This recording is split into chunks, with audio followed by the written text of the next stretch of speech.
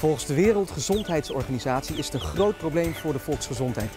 Niet dit kippetje hoor, helemaal niet, maar het enorme antibiotica-gebruik in de veehouderij. Hierdoor zijn antibiotica mogelijk in de toekomst niet meer werkzaam bij het genezen van infecties bij mensen. Want bacteriën worden resistent. We zijn vandaag in Noord-Hollands het veld, de kippenboerderij van uh, Ad Groen. Hoeveel uh, kippen heb jij rondlopen hier? Ik heb hier 22.500 uh, dieren rondlopen. Dat zijn, uh, dat, dat zijn er nogal wat.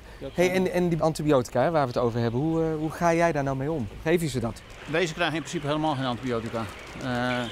het hele antibiotica-verhaal, ook in het gangbare gebeuren, is al behoorlijk teruggedrongen. Ja. Dit zijn langzamer groeiende kuikens. Dit noemen we scharrelvleeskuikens. Ja. Die groeien langzamer.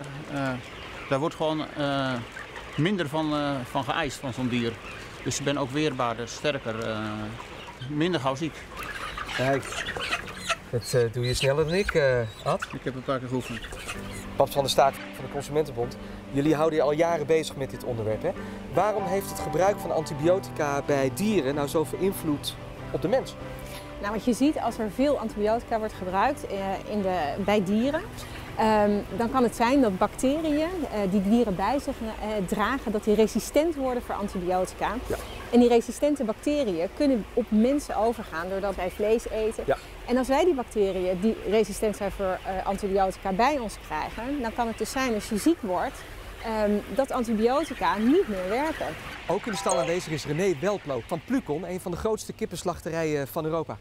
Hey René, de, de regels aangaande antibiotica gebruik in de veehouderij zijn enorm aangescherpt. Hè? Wat vind je daarvan? Je ziet dat het uh, effect heeft in, uh, in de zin dat we gehalveerd zijn met het antibiotica gebruik in de afgelopen uh, 5, 6 jaar. Als je kijkt naar dit prachtige houderijsysteem wat je hier ziet, daar hebben we praktisch geen antibiotica meer in gezet. Dus we zijn ontzettend op weg om uh, naar een nulniveau te gaan met uh, dit soort houderijsystemen. Dat is een goede ontwikkeling. Ja, en is ja. Nederland daar uh, goed mee bezig ook? Nederland is gidsland. Zeker als je de vergelijking maakt met, met andere Europese landen, dan lopen we mijlen ver voor. Zonder meer, Babs, vind jij die stappen die gezet worden, vind jij het ook al voldoende? Nou, we vinden in ieder geval dat er goede stappen gezet zijn. Een aantal jaar geleden hebben we met de Consumentenbond onderzoek gedaan. Bleek bijna alle kipfilet besmet met die uh, bacterie die dus resistent is voor antibiotica. Nou, de politiek schrok daar natuurlijk van. Die heeft maatregelen genomen. Dus nu is er een goed registratiesysteem van wanneer en waar wordt antibioticum gebruikt. Um, er zijn goede afspraken gemaakt over het terugdringen van antibioticum. Dus ja, wij zien dat het nu op de kaart staat in Nederland. Um, maar het buitenland, hoe het daar gaat, dat baart ons nog wel zorgen. We zien bijvoorbeeld ook dat in Zuid-Europa en in uh, Oost-Europa het probleem ook nog niet zo uh, herkend wordt als hier. Er wordt nog niet zoveel aan gedaan. Dus wat wij doen met de Europese consumentenorganisaties, lobbyen we bij de Europese Unie uh, voor een drietal maatregelen. Dus we willen dat er strengere regels komen. Ten eerste uh, geen antibioticum uh, als preventiemaatregel, dus alleen bij zieke kippen.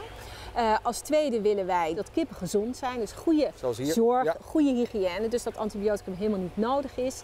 En de derde maatregel die wij voorstellen is dat antibioticum om ziektes te bestrijden bij mensen, dat die alleen voor mensen ook gebruikt worden en niet voor dieren.